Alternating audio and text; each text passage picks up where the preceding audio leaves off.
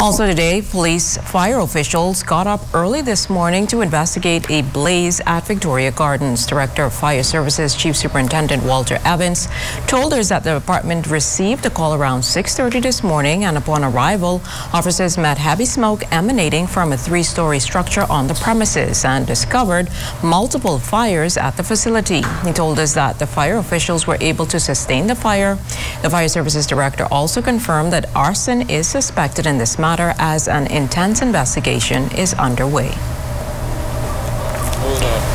Well, Chief Superintendent Evans also offering these safety tips for persons who remain in lockdown.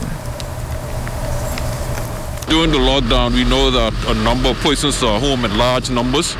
and so we want to really uh, reassure them of the the fire services presence along with the Royal Bahamas Police Force. But one of the things we want to suggest to them is that they pay close attention to use the utilization of the cooking facilities, particularly the stoves, because we know there will be an inordinate amount of cooking which will be taking place. Persons who, where, where you have children who will be made available, we know that electricity will also be used, and so we want to uh, advise persons that if they have their homes and if they have any degree of um, electrical shortages or any electrical challenges, seek the services of a certified electrician who would be able to correct any issues that they may have. In addition, we want to suggest to persons that what they need to do is,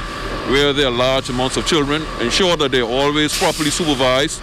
ensure that they pay attention to the Ministry of Education's virtual school classes, which are on, uh, on television, and also assist them with their homework and the school assignments, and not allow them to get into any mischief, such as things like playing with matches, things of that sort. And these are some of the basic things that we want to, to ask the public to pay close attention to so at the end of the day, we know that during this time, it's a very challenging time for all. But however, at the same time, we want persons to exercise safety at its highest proportion.